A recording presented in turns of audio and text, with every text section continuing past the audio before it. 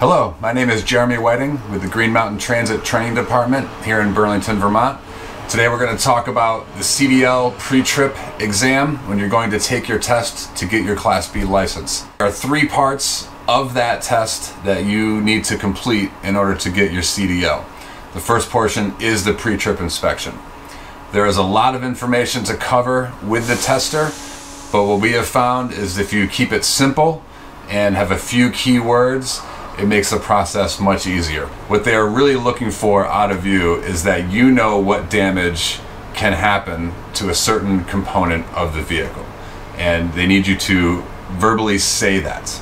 If you can't remember the name of a certain item, like a, a brake component, uh, it's okay to say that you don't remember the name of it, but what you need to do is talk about the damage that could happen and what you are looking for.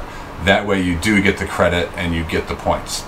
The CDL pre-trip inspection portion of the exam is all about building points. You need to talk about enough things and build enough points to move on to the skills test portion of the exam. In order to build those points and not miss anything, we like to go by a three-step process of see it, say it, touch it.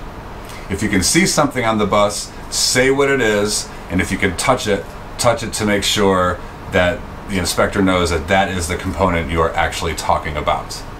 There are a lot of things to cover during your pre-trip inspection on the bus, but what you are going to find is that you will be repeating a lot of the same words just with different components. If you test something to make sure that it works, make sure that you say that it is working properly. If it's glass, it can break, be cracked, or chipped.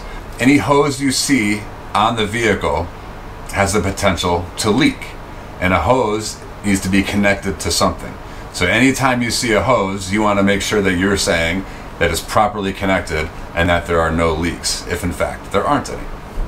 Anything that is attached to the vehicle needs to be secured to the vehicle, and you need to say that to the examiner that you notice something and that you see it, you say it, and you touch it to make sure that it actually is secure to the vehicle. It's all about talking about the damage that you see. So you need to find the buzzwords that you are going to use and keep those no matter what component you're talking about. Just make sure that it applies to that specific component.